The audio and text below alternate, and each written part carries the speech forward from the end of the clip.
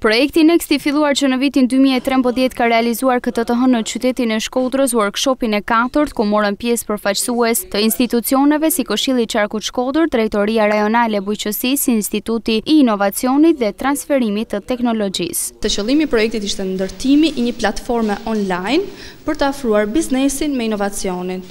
dhe partnerët të cilët kanë kontribuar në ndërtimin e kësaj platforme dhe në dhënien e idejve gjatë workshopeve janë Universiteti Shkodër, Fakulteti i Ekonomisë dhe i Turizmit, Instituti i Transferimit të Teknologjive dhe Inovacionit dhe Drejtoria e Bujqësisë, po ashtu dihet Këshilli i Qarkut Shkodër që është një ndër partnerët e projektit. Po ashtu është bashkëpunuar me partnerë të tjerë në rajon, Bosnja, Mali i Zi, Kroacia, dhe me lider Regione Marchen. Dy prioritetet e zgjedhura nga Qarku Shkodër janë zhvillimi i bujqësisë dhe i turizmit, pra pritshmëria është zhvillimi i këtyre dy sektorëve kyç të ekonomisë shqiptare. Ky projekt synon afrimin e inovacionit e teknologjisë pranë biznesit e anasjelltas për të krijuar kështu ura komunikimi kombëtare e rajonale dhe për të konkretizuar ide e projekte të reja në të ardhmen.